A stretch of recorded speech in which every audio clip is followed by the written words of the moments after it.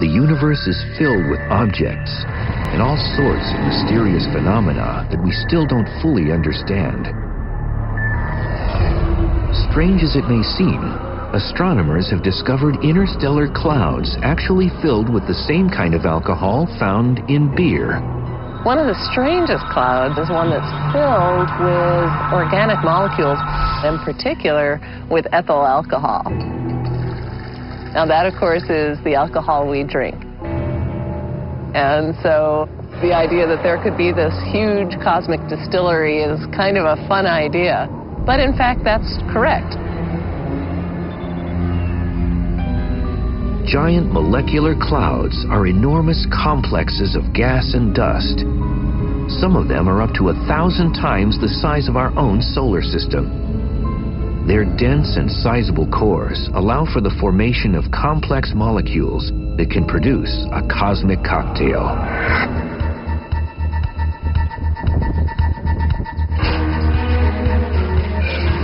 In this microbrewery, barley, water, and yeast are used to produce alcohol.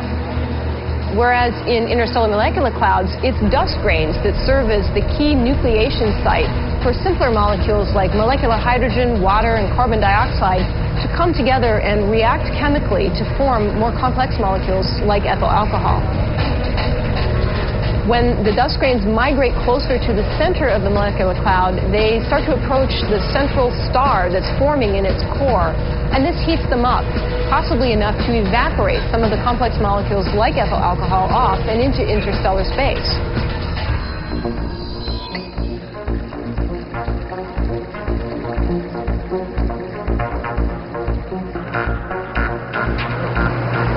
Thank you. Cheers.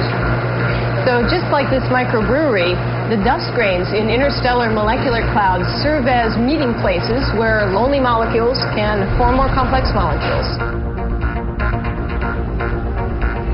The first alcohol cloud was detected in 1975. Since then, many more of these truly strange space clouds have been observed.